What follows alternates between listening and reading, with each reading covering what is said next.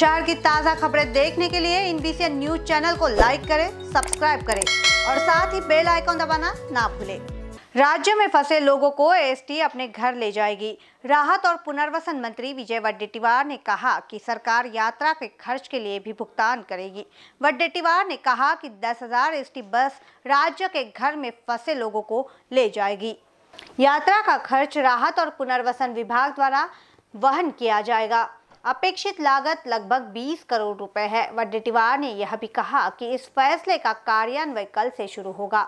अगले दो दिनों में राज्य में फंसे हुए लोगों को एसटी द्वारा उनके घरों के लिए रवाना कर दिया जाएगा। कोरोना के महामारी के विश्वव्यापी इस संकट में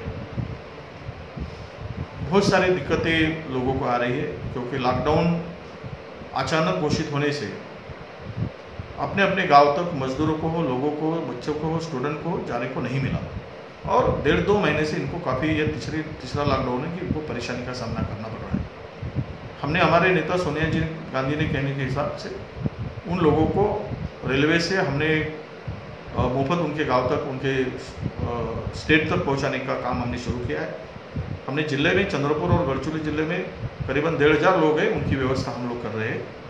इसी के साथ बाहर से लोग जो आ रहे हैं, उनको आंध्र प्रदेश की सरकार और तेलंगाना की सरकार ने इन लोगों को जिला के, महाराष्ट्र की सीमा तक पहुँचाया था।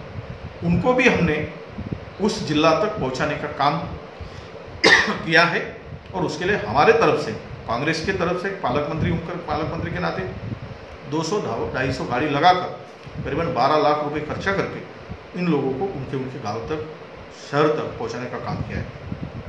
अब आने वाले दिनों में, महाराष्ट्र के अंदर में, अनेक डिस्ट्रिक्ट में लोग अपने अपने जगह पे है जो उनको अपने गाँव को जाना है।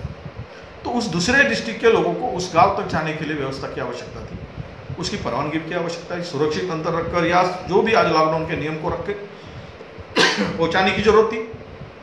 तो मैंने हम लोगों ने फिर यह निर्णय लिया कि हमारे माननीय उद्योग जी, ठाकरे मुख्यमंत्री महोदय हो अजित दादा पवार हो, हमारे बाला साहब जी थोड़ा तो इनके निर्देश के हिसाब से हमारे डिपार्टमेंट ने आपत्ति व्यवस्थापन और मदद पुनर्वसन के विभाग के माध्यम से इस मुफ़्त यानी फ्री में बसेस उपलब्ध कराए जाने का निर्णय लिया और ये बसेस के लिए जो डिपार्ट जो खर्चा आएगा वो सब खर्चा हमारा डिपार्टमेंट उसको देगा इसके लिए मैं आभारी आभार व्यक्त करता हूँ कि हमारे परिवहन मंत्री ने भी दस हज़ार बसेस इस काम के लिए देने का निर्णय लिया और उन्होंने तैयारी दर्शाई। अब हम लोग इन सब लोगों को, जैसे पुणा में हो गए तो उसको चंद्रपुर में जाना है, चंद्रपुर के लोगों को मुंबई में जाना है तो महाराष्ट्र के विद इन स्टेट उन लोगों को अपने अपने घर तक फ्री में पहुँचाने का निर्णय हमने लिया है। और इसके लिए दस हज़ार गाड़ी को हमने सजा के, सज्जा रखा है। और दो तीन दिन के अंदर में ये सब प्लान पूरा होने के बाद इनको अपने अपने गाँव तक तो छोड़ा जाएगा।